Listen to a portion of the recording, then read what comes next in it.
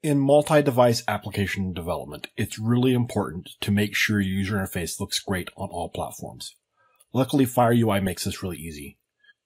On controls like the tab control, you can set the tab position to platform default, which causes the tabs to automatically change position on each platform according to the design guidelines for that platform. You can also preview it on different platforms right here from the IDE and create variant views for specific devices. This gives you the ability to create a view that takes full advantage of larger displays on tablets or desktops while also looking good on devices like watches, Google Glass, and phones.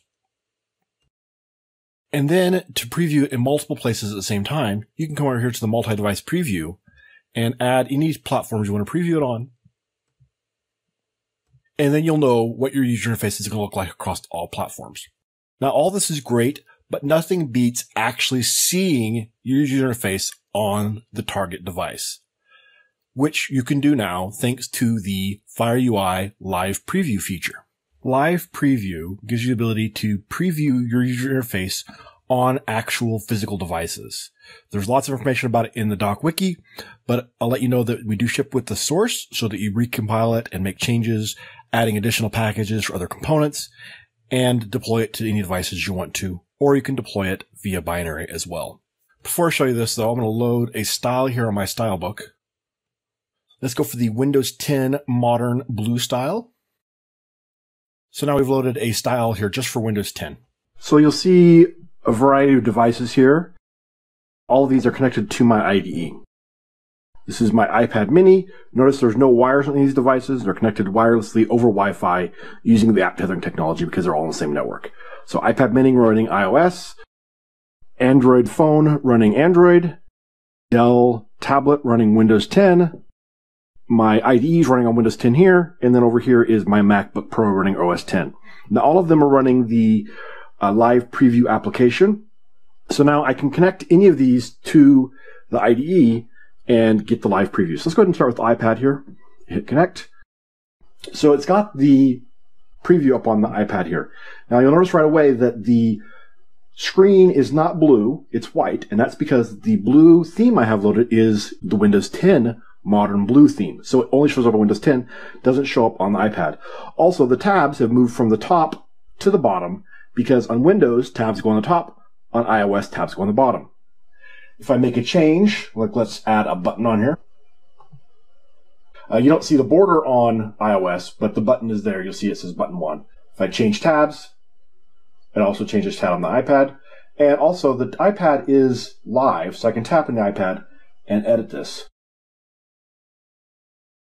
And that's because the user interface is running, but it is not actually running the code behind. So if there was something that happened on the text box change, that wouldn't happen. So now let's connect the Android device here. So we'll just tap on Studio and hit connect.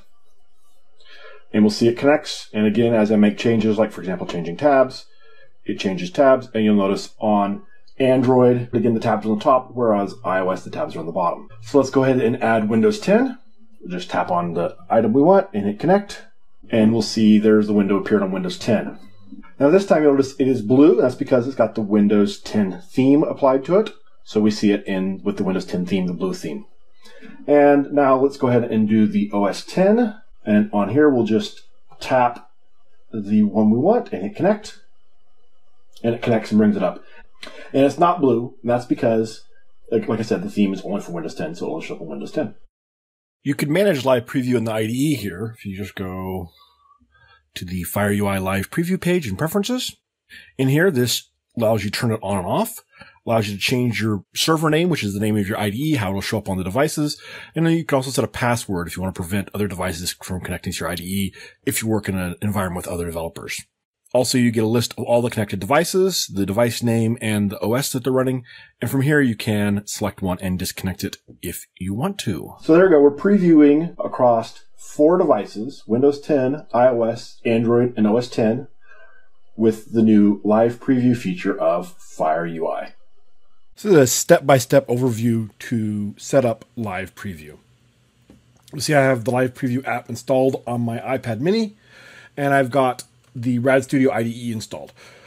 Now, first of all, I'm running it inside a virtual machine, so I have to have uh, my virtual machine. You'll notice is connected to the Back in Time network here, and the iPad Mini is also connected to the Back in Time network. We can check and make sure the subnet mask and IP address are there. So then inside our virtual machine here, I set it up with the network as bridged, which then actually connects the virtual machine itself, uh, client OS, to the network directly instead of uh, shared. So use bridge so that the IDE is publicly visible on the network. Otherwise, the iPad cannot find the IDE. And we can look at the IP address here. And we see that it is uh, on the same subnet here. So they should be able to find each other. And actually, I can ping the iPad here if I wanted to. Ping 10.0.1.15. So if you are having trouble, if you can't ping the iPad from your uh, machine, then you're not going to be able to get there.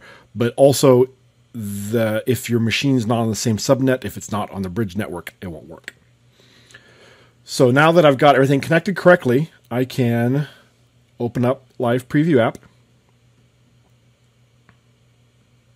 And it's scanning the local network. It's sending out UDP packets on the local network in order to find the IDE.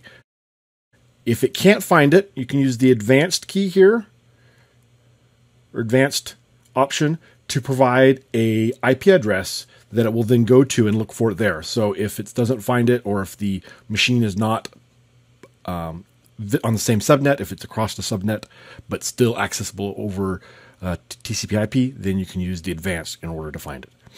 Uh, this all behaves the same as the app tethering technology. So in the IDE, there's some configuration for this. We've got options, and then down here under Form Designer, we have Fire UI Live Preview.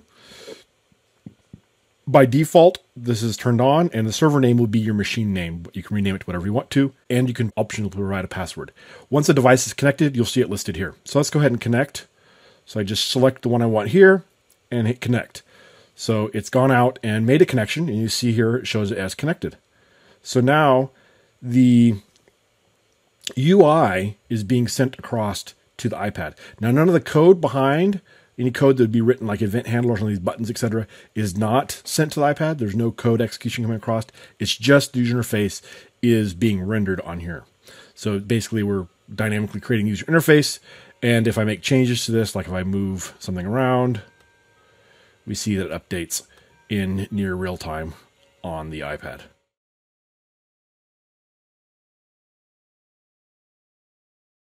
When you're done, you can either close the live preview app or come into options again and select the device and right click and say disconnect client, and that will disconnect it, force disconnect it.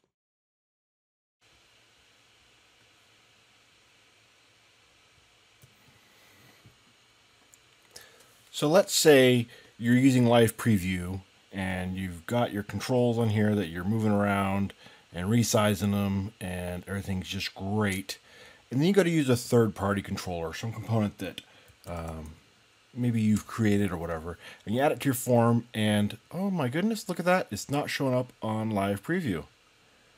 Now, everything else is still working fine. But this new component, this T chart's not showing up.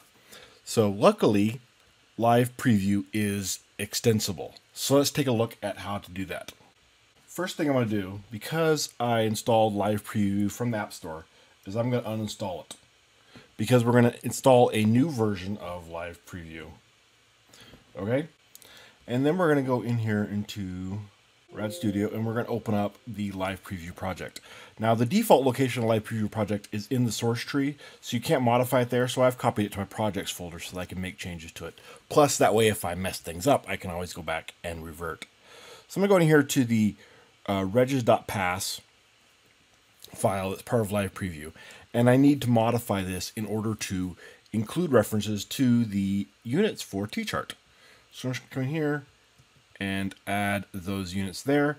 And And then I also have to register my classes explicitly down here in the initialization section. So I just come in here and paste those lines in there. So I've added these three units and then I'm registering it and then I'm also setting up the standard series. Once I've done that, all I have to do is redeploy this back onto my iPad again.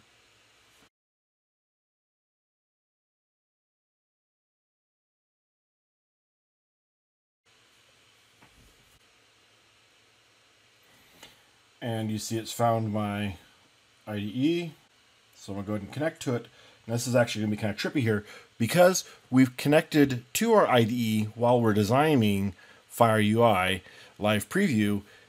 We're live previewing live preview. So wow, little uh, inception craziness there. So let's go ahead and go back and make a new project here. And I'm going to save those changes so that it will be there next time. And I'm going to go ahead and drop down that T-chart again.